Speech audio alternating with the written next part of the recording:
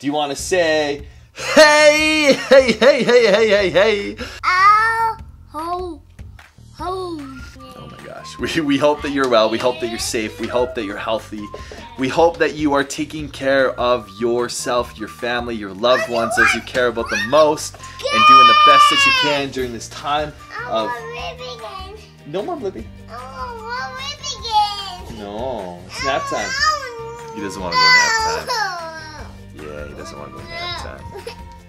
I want them again. During this time of isolation and with the coronavirus virus going on and everything happening in the world, no Blippi, mister. It's going to be nap time.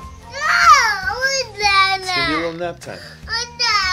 So, yeah, that's what's up. We just wanted to say hi. Hope all's well. Send you lots of love, lots of wishes. We're thinking about everyone here and send you lots of love and just just make sure that you're taking care of yourself. You're taking care of all those you love and care about, and and we are doing the same.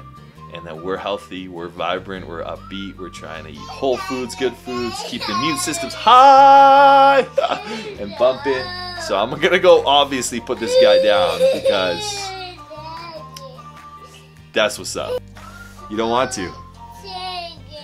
You don't want to go for a nap. And yet he's going upstairs for a nap. like, this makes no sense. Toddlers make no sense. Nap time. Nap time. See you guys. Be safe.